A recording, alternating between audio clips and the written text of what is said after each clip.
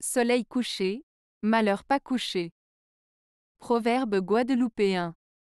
Ce proverbe guadeloupéen signifie qu'il ne faut pas s'endormir sur ses lauriers après avoir accompli une tâche, car les problèmes peuvent survenir à tout moment. Il faut donc rester vigilant même après avoir atteint un objectif.